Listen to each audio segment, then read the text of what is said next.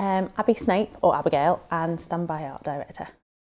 Um, I'm on camera um, watching the monitor all day, not all day, but um, basically dressing things to shot. Um, I part of the design department, so I, it's my job basically just to make sure all the props are sorted. I have a team of four other prop men who will be getting all the props together.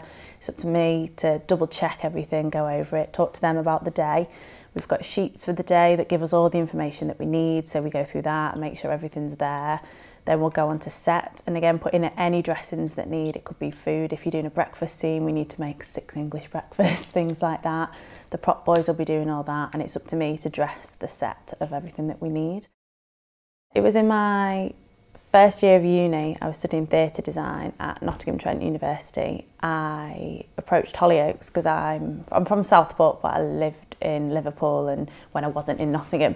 Um, and I knew that Hollyoaks filmed in Liverpool. So I got a contact from them from my university and just emailed about work experience in the summer holidays. Because obviously, although I was working for a theatre course, I thought, oh, well, I'll try and do a bit of TV as well. So I went and did a week's work experience there and they took me on after that and I had paid work for the rest of that summer.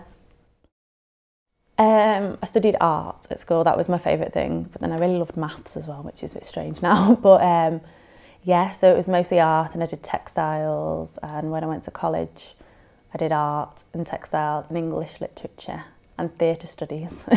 Not the drama side of it though, I can't act.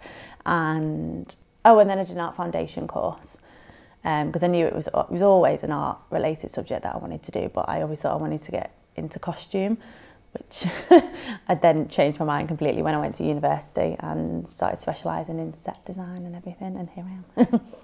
because I'm only 24 and I think to be standby art director at this age is a really good thing anyway and the fact that I have come come from one program to another one and still I don't necessarily think I'd be in a different job title because I think to then the next natural step would be from standby art director to art director and although I have got some of the skills that you can have like the technical drawing and I think a lot of it in design department in particular is based on experience and I'd say in five years time I'd still want to be a standby art director, just a better one kind of thing because to go into the next step you've just got to have experienced so much more and I'd want to experience other kind of productions like dramas and period dramas and things just to gain more knowledge on the whole work of TV really.